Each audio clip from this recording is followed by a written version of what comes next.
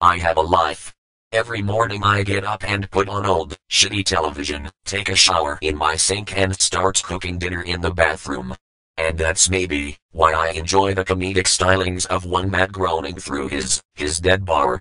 I am unique, like a fork with three prongs or a crooked bicycle wheel that forces you to do unique kickflips with yourself naked in the garage. As to that, that, that dead bar. Well, you know what they say, Rome wasn't built for the gays. It takes a lot of time, and effort, and elbow grease, and I'm not talking about putting grease on my elbows, to understand the genius, the quality, the prestige the importance, of Matt Groening's work on society. The Freemason would often enter my garage and root through old newspapers and receipts from a tonsillectomy I'd gotten 20 years ago when finally I had enough and threw him in the garbage. I put him in the garbage. A man the man, Matt Groening. I was an intern for The Simpsons from 1995 to 1997, and I don't mean the year. See, Matt used to walk around the Simpsons office and place sticky notes numbered from 1 to 2000 and in each room he would place candy, a highly stylized drawing of Homer Simpson or various pretzels laced with sedatives to knock out cast members so he could leave their bodies in the lounge rooms with their heads shaved and their bodies in funny positions. He was an eccentric guy to say the least, and my first day at the office I had to walk a long way to reach room 1995 to find a delicious Twix candy bar attached to a string and a cardboard cutout of Bart Simpson with a man's lips poking out from the front of it. Cowabunga dude. He started pulling the candy bar, leading me over to the window. I'm Bart Simpson. The man said. Don't have a cow man, it was supposed to be cow, man, with a comma, but he said cow man. It was bad grammar for an employee. I started walking through the window and he pulled the candy bar away at the last minute, forcing me to fall out the window. Now keep in mind this was a 10-story building, and 1800 to 2000 were a good 100 feet from the ground. I fell, screaming, as I saw the man behind the cardboard cutout.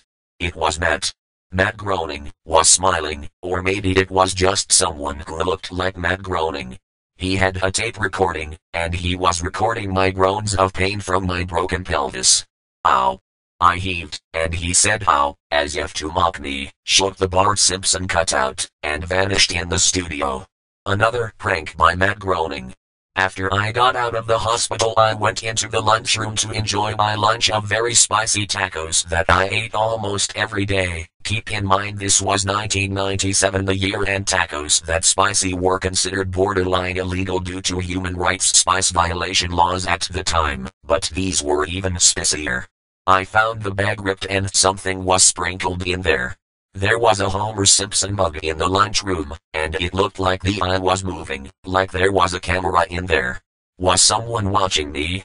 I turned the mug 180 degrees to force Homer to face the unwashed dishes. Simpsons employees were forced by Fox to wash their own dishes, and if we refused they would fine us up to $300 for each soiled plate.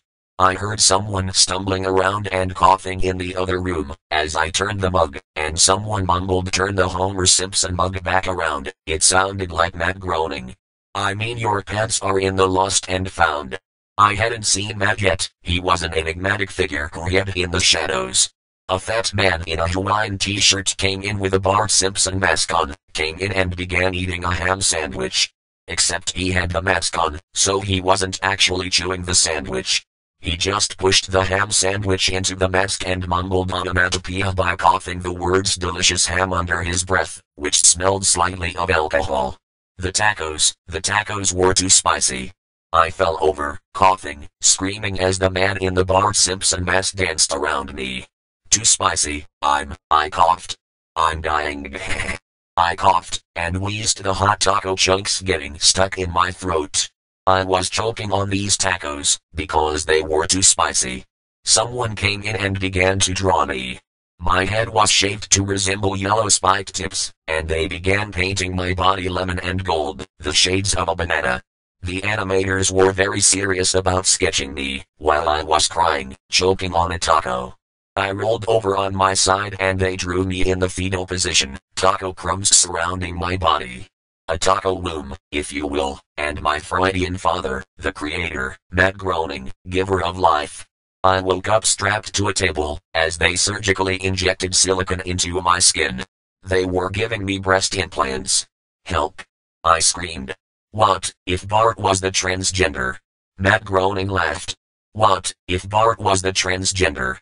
I screamed, coughed, kicked, wheezed, until the man finally removed his Bart Simpson mask, revealing it was Matt Groening, creator of The Simpsons. He was recording my screams, and the animators were animating them. And then he picked me up, with godlike strength of some kind of Samson of cartoon sitcoms, and threw me out the window. Into a shallow grave. He was laughing, as I saw a tombstone for a man named Bart Simpson. A plastic, shitty Halloween tombstone, and all of the other tombstones of previous workers, in a neat row. I'm not Bart Simpson. I screamed. I'm an intern man. The breast implants were surgically implanted into my elbow, back and spine, so the shallow grave was actually quite comfortable. I woke up at home, covered in dirt, but otherwise unscathed. Was this a dream? I received a terse letter from Fox informing me my internship would be abruptly terminated pending an investigation into my dirtying of the employee lunchroom. And the VHS was there, dead Bart. What on earth? I put it in, and they were lowering Bart into a coffin, and those screams, those screams sounded so familiar. I decided to go to bed. There was an owl outside my window. A highly realistic owl, in this part of California, at this time of year, holding what looked like a dark gun. I walked over to the window, and the owl smiled. I know what you're thinking how can an owl smile? Well this owl smiled, and I saw it lick its lips. Bad dart. The owl whispered, speaking perfect English. And then it shot me in the head.